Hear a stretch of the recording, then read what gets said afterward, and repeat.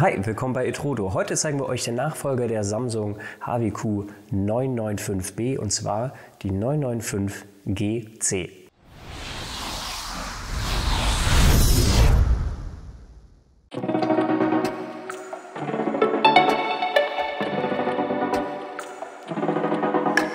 Das ist die Premium Soundbar von Samsung, die HWQ 995 GC. Was bekommen wir denn hier alles geliefert? Und zwar bekommen wir hier eine Soundbar, ein Subwoofer und zwei Rücklautsprecher in einem Set geliefert.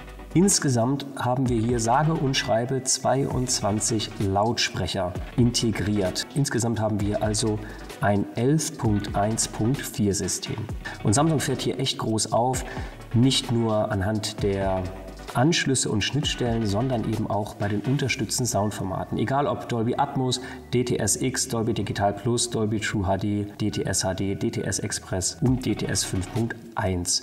Genauso wird AirPlay 2 unterstützt, Direct Wi-Fi, aber auch Bluetooth natürlich. So sind wir hier auf jeden Fall abgedeckt, was die Konnektivität angeht. Hardware-seitig haben wir hier noch weitere Anschlüsse an der Soundbar. Einmal einen optischen Audioeingang sowie zwei HDMI-Eingänge Eingänge und noch einen dritten HDMI-Eingang als HDMI eARC. Hierüber wird aber der Fernseher angeschlossen. Das heißt, wenn ihr die volle Leistung der PlayStation 5 zum Beispiel ausnutzen wollt mit mehr als 60 Bildern in der Sekunde, könnt ihr diesen nicht über die Soundbar nutzen, sondern müsst die PlayStation zum Beispiel direkt an den Fernseher anschließen. Habt ihr einen Samsung-Fernseher der neuesten Generation, so könnt ihr die Soundbar aber auch direkt connecten über Wi-Fi. Das funktioniert aber, wie gesagt, nur mit einem Samsung-Fernseher. Von den Leistungen her, wir haben beim Subwoofer 26 Watt, die Rücklautsprecher haben jeweils beide 19 Watt und die Soundbar hat insgesamt eine Leistungsaufnahme von 41 Watt. Wenn wir jetzt hier die Unterschiede suchen zum Vorgänger, müssen wir sagen,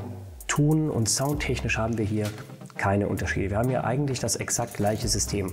Der größte Unterschied ist einmal, dass wir jetzt hier das Mikrofon, welches verbaut ist in der Soundbar, können wir hier auch nutzen als Smart Speaker. Das heißt, Alexa, wie man schon hört, ist hier schon verbunden.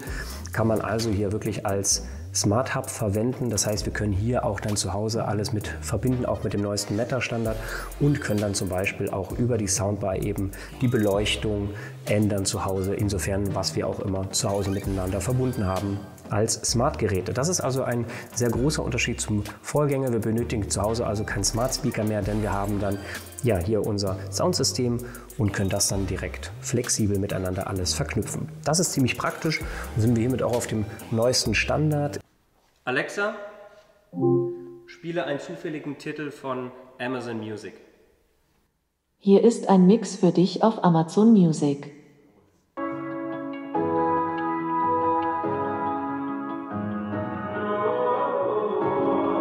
Ein weiterer Unterschied zum Vorgänger ist der Space Fit Sound. Das heißt, wir haben hier vorne ein Mikrofon drin, das haben wir aber im Vorgänger eben auch, welches den Raum einmal abmisst und quasi guckt, sind die Höhen zu schrill, ist der Bass zu stark oder dröhnt und dann passt er dementsprechend den Sound selbstständig an.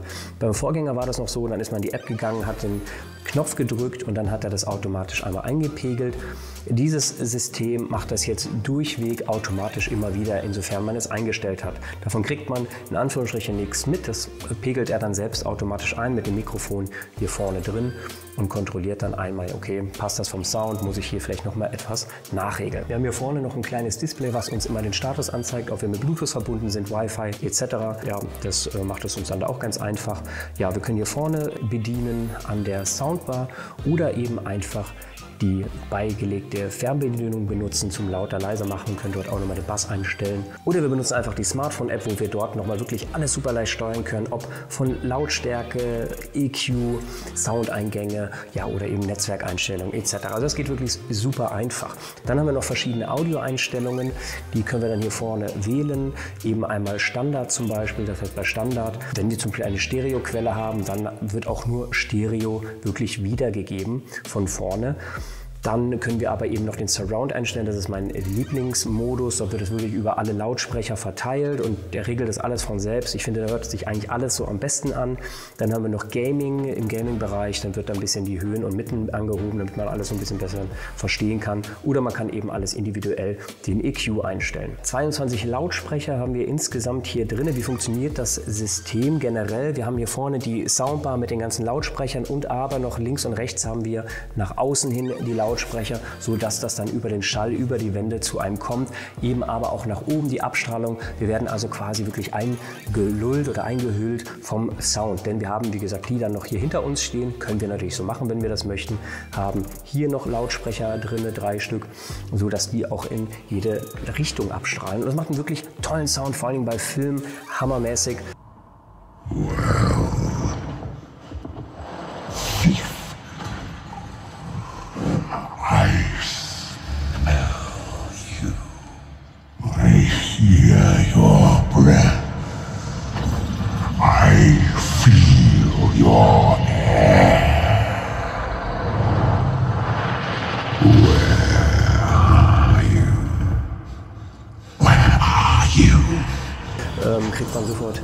äh, wird man sofort reingezogen in den Film, selbst wenn man nur auf einem Smartphone guckt. Das ist wirklich klasse. Auch der Subwoofer unterstützt dann richtig, richtig gut. Also Film kann man gar nichts falsch machen. Man kann in der App übrigens auch noch einstellen, ob diese beiden Lautsprecher als Rücklautsprecher eingestellt sind bei einem zu Hause oder aber möchte man die wirklich als Stereosystem vorne nutzen. Das kann man in der App dann auch nochmal einstellen. Auch Musik klingt wirklich klasse. Wenn man aber wirklich nur Musik hören möchte, dann würde ich immer noch mal auf ein normales Stereosystem wechseln. Aber nichtsdestotrotz wird man bei Musik wirklich hier zufriedengestellt. Also wenn ihr gerade so zu Hause viel Fernsehen, viele Filme guckt, aber auch hin und wieder mal Musik, ja, dann geht hier, gibt's hier eigentlich fast keinen Weg daran vorbei, weil hier wird, wird man auf jeden Fall zufriedengestellt. Gerade was ich mag, ist diese super leichte Bedienung an, anschließen. Es äh, funktioniert sofort. Die App ist super geil. Wir können einfach schnell mit dem Handy uns verbinden. Auch wenn man Samsung-Geräte benutzt, ist das super einfach zum Koppeln mit einem neuen Samsung-Smartphone. Smartphone muss hier einfach nur zweimal draufklopfen und schon ist das Handy miteinander verbunden. Aber es funktioniert natürlich auch mit anderen Handys, dann so normal über Bluetooth. Ganz, ganz tolle, einfache Bedienung. Das finde ich eines der großen Vorteile hier bei diesem Gerät, dass die App auch soweit sehr gut funktioniert. Und wenn ihr Interesse habt an der Soundbar, dann kommt doch gerne bei uns ja, auf etrodo.de und guckt euch dort einmal um. Oder kommt einfach bei uns vorbei hier im Geschäft in Bocholt bei Etrodo. Und dort könnt ihr die Soundbar auch einfach mal Probe hören. Oder aber ihr hört bei uns den Vorgänger, den haben wir hinter mir noch stehen. Könnt ihr euch auch mal anhören. Der ist etwas günstiger, hat aber dafür die ganze Smart Hub-Integration nicht, was ich hier eigentlich ein ganz nettes Feature finde. Ähm, aufgrund dessen auch, dass hier der Meta-Standard nun integriert ist und wir so da einfach zukunftssicherer sind. Aber beide Soundbars, überragender Sound, macht wirklich viel Spaß, kann ich euch empfehlen. Und wenn euch das Video gefallen hat, dann hinterlasst gerne ein Like und abonniert den Kanal.